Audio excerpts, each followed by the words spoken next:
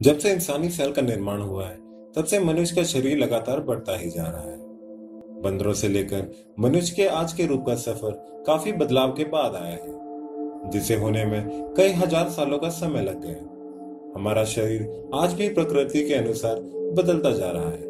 आइए जाने की कुछ हज़ार साल बाद कैसा दिखेगा इंसान, और संभावता क्या क्या शारीरिक और मानसिक बदलाव होंगे हमारे शरीर में। आप देख रहे हैं फैक्ट जीनी।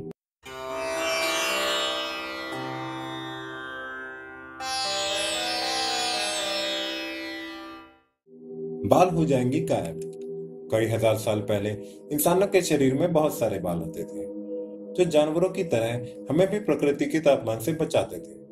और इंसान के रहन सहन के तरीकों के कारण अब हमें इन बालों की ज़रूरत नहीं है, जिसकी वजह से इंसानों ने शरीर के 80 प्रतिशत बाल पहले ही खो दिए हैं। और इसी तेज़ी से आगे आने वाले सालों में रहे सहे बाल भी शरीर से झड़ जाएँगे।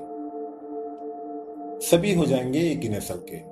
जिस हिसाब से दुनिया भर के अलग अलग नस्लों के लोग मिलकर आने वाली पीढ़ी को पैदा कर रहे हैं, ये पूरी तरह संभावित है कि आगे आने वाली सारी नस्लें तकरीबन एक जैसी दिखेंगी। ना कोई गोरा होगा, ना कोई काला, ना कोई पहाड़ी, ना कोई जंगली, सब एक ही रंग रूप के हो जाएँगे। कम हो जाएँगी पैरों की उंगलियाँ। जब इंसानों ने दो पैरों में चलना चालू किया, उससे पहले हमारे पैरों की उंगलियाँ भी हमारे हाथों की तरह पकड़ बनाने के लिए इस्तेमाल होती थी। पर धीरे धीरे जब इंसान चलने के लिए सिर्फ़ अपने पैरों पर निर्भर हो गया तो इसने पैरों की पकड़ बनाने की क्षमता खो दी। पैर का अंगूठा चलते वक्त शरीर का बैलेंस बनाने में इस्तेमाल होता है, पर पैर की सबसे छोटी उंगली का कोई उपयोग ही नहीं, जिसके कारण ये और छोटी होती जा रही है और एक दिन गायब ही हो जाएगी।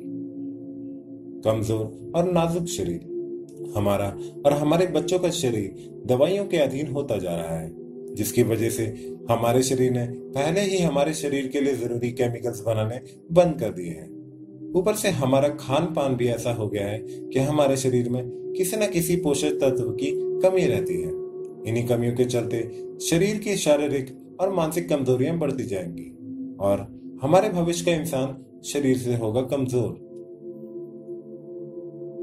बढ़ेगी लंबाई। इंसानों के शरीर में एक बदलाव लगातार आता जा रहा है। वो है हमारी हाइट पिछले सौ, दो सौ सालों में इंसानों की एवरेज हाइट पहले से काफ़ी सेंटीमीटर ज़्यादा लंबी हो गई है। तो इस चीज़ को अनुमानित किया जा सकता है कि इसी रेट से हमारे शरीर की लंबाई आगे भी लंबी होती जाएगी और भविष्य का इंसान काफ़ी लंबा होगा। डिजिटल हो जाएगा आदमी।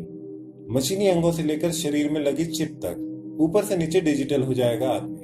हो सकता है इंसानों को मशीनें द्वारा मॉडिफाई करके भी बनाया जाए, ताकि वे ज़्यादा सकुशल हों। सच्चाई में, भविष्य का इंसान कैसा होगा? ये सिर्फ़ इस बात पे निर्भर करता है कि हम आज अपनी ज़िंदगी को कैसे जी रहे हैं। तो दोस्तों, अगर आपको वीडियो अच्छा लगा तो इसे लाइक ज़रूर करें और कमेंट भी करें। और अगर आपने हमारे चैनल को अभी तक सब्सक्राइब नहीं किया तो तुरंत सब्सक्राइब करें। ये एकदम फ्री है। मिलते हैं अगले वीडियो में। तब तक के लिए अलविदा।